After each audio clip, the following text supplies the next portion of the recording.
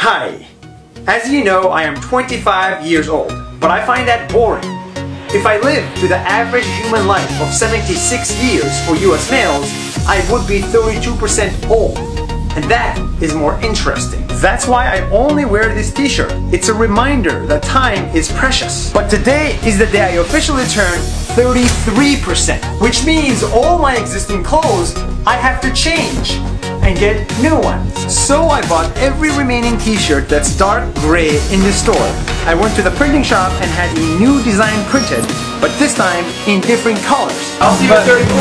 And because I turn a new percent every 8 months, I get to throw myself a party! Because when you think of life in terms of percentages, time becomes much more precious. So might as well make the most of it. That's one